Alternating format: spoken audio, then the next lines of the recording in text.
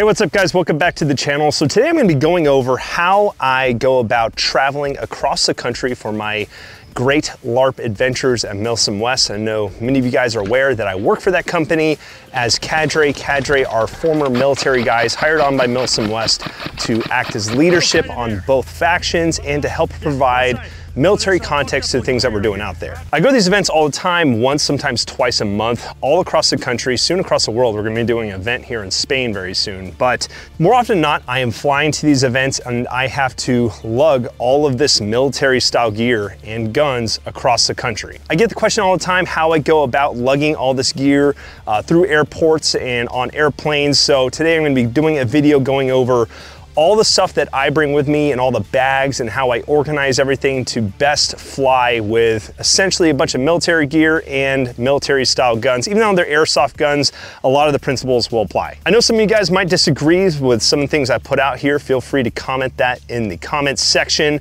But again, this is just what has worked the best for me. I do this once, maybe twice a month, and your mileage might vary, but again, take this with a grain of salt. If you have a different way of doing this and that works the best for you, go ahead and do that. This is just, again, what works the best for me. Everything you're gonna see here on this packing list was gonna be based off of what I took to the last event I went to, Balcar, one of my favorite AOs. So some of the things might change depending on your loadout, but for the most part, if you apply the principles that I uh, show you guys here, you should have a pretty easy time flying with all of your LARP gear. But before we get into it, Uh, a word from our sponsors. Today's video is sponsored by Scheels. Scheels is an outdoor supply store that carries all the top brands, including Leupold, Sitka, Mystery Ranch, and more, so you don't get caught lacking in the great outdoors. Go check them out at one of their many locations across the United States, or go to their website and check out some of the deals they got going on there. So go check out Scheels, and big thank you to them for sponsoring today's video. Also want to give a quick shout out to Badlands Ammunition. They provided a lot of the ammunition you've been seeing me fire on the channel.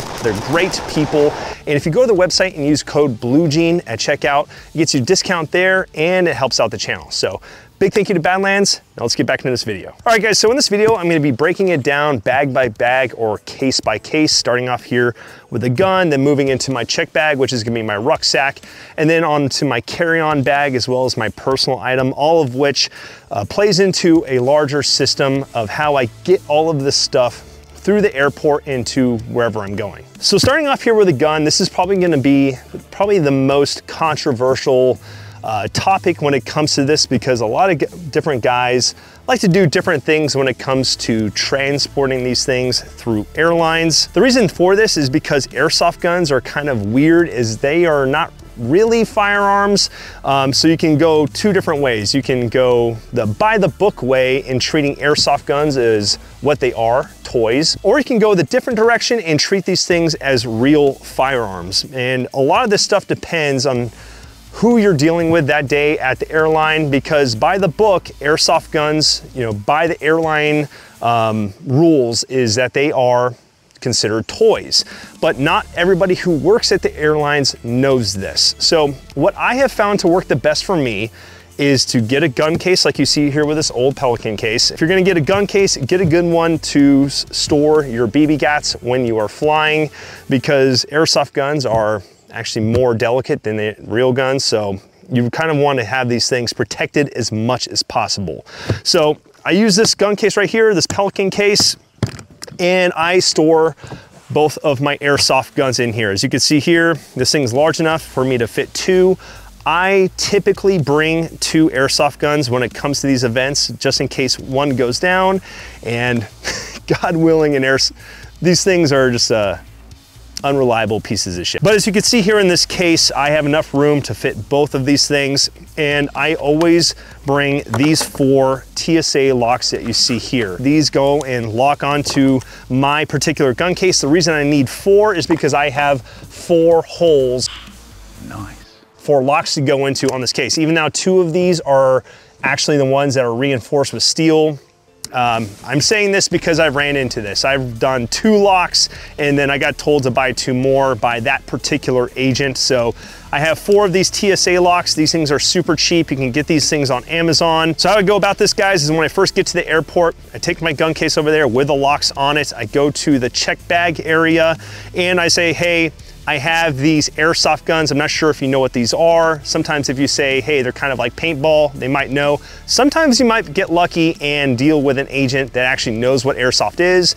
And they're like, oh yeah, cool, those are toys. You don't need to go through all this.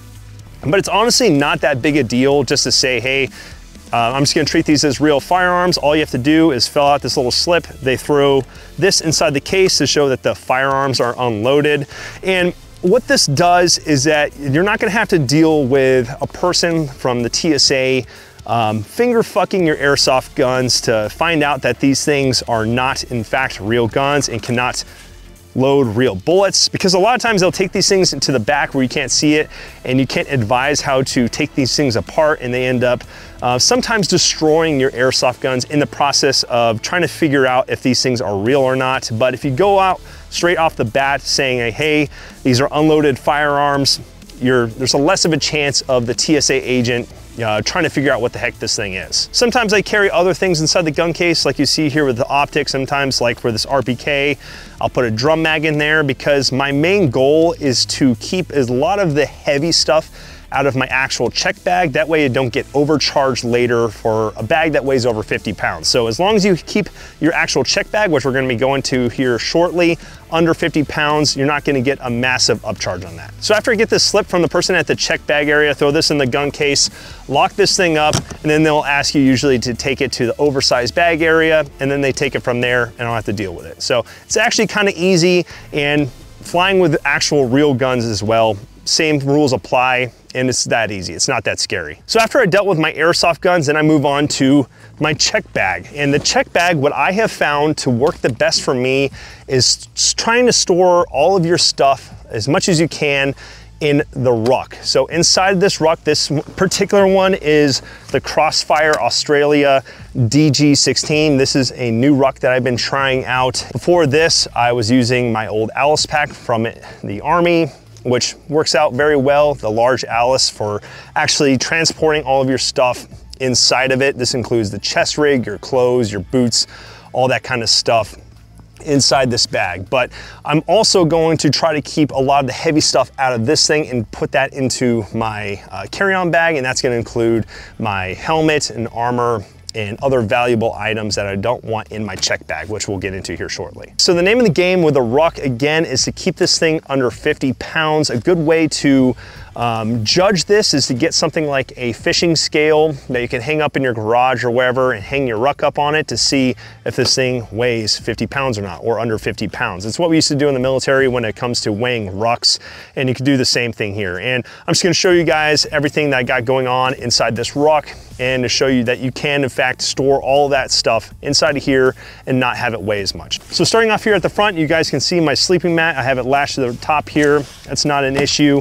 And then inside of here, an empty uh, water bladder. This is where my um, CamelBak is stored. But as you can see here, I got my boots. Then I got all my clothes inside this stuff sack. This includes my uniform, my socks, all that kind of stuff. This isn't all my civilian clothes that I'm gonna use uh, walking around prior and after the event, but this is all the stuff that I'm gonna be wearing inside the field.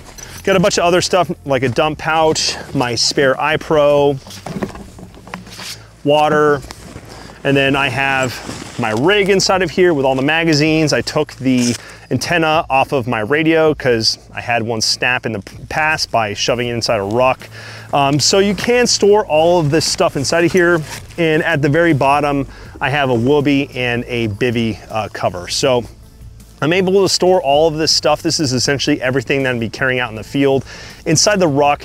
But as you notice that I don't have my helmet or armor or anything inside of here because that stuff weighs a ton and it would most likely lead to this thing weighing um, over 50 pounds. But last time when I went through the airport with this thing just a few days ago, it came in around 45 pounds. You could probably get away with it being a little bit lighter, but um, you know, I like to carry some stuff out there and this has worked out. So at this point, we've done our gun case that has airsoft guns in it and our check bag. Now we are ready to go through security and get to our plane and take on both the check bag and our carry-on bag. So starting off here with a check bag, this is a Vertx, an older Vertx Gamut. I've had this backpack for a very long time. This is the backpack that I honestly use all the time. I use this thing for travel as well as it's most often my gym bag, but this thing is awesome for carrying a bunch of stuff that I don't necessarily want to put in my check bag or my gun case. All right, so opening this thing up, you can see in here I have my helmet. This thing weighs quite a bit. Don't worry about the flags. It's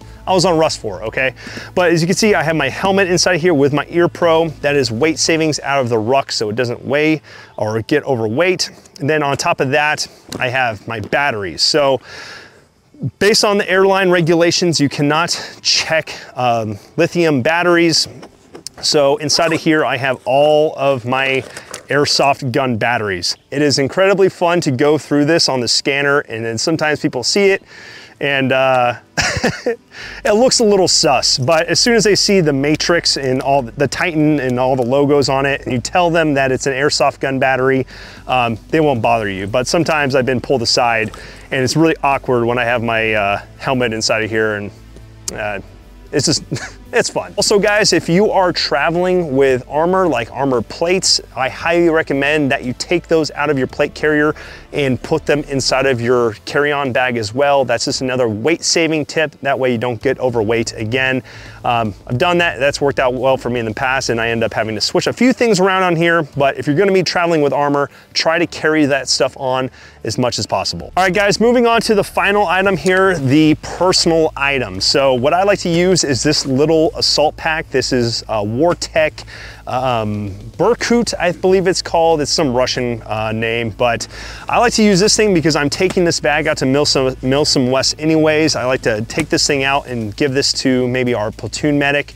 That way they can carry water bottles because a lot of guys don't take assault bags with them. So I take this thing out with me and it works out nicely as my personal item. And inside of here, I usually have my spare clothes and some of my toiletries um, for before and after the game, as well as my night vision. So I highly recommend that you do not check your night vision or even put it in your gun case because crazy things happen. I do not trust TSA uh, with at all. So you, I would highly recommend that you carry any of your really expensive items on the plane with you if it is legal. So night vision, totally, uh, totally cool to do so.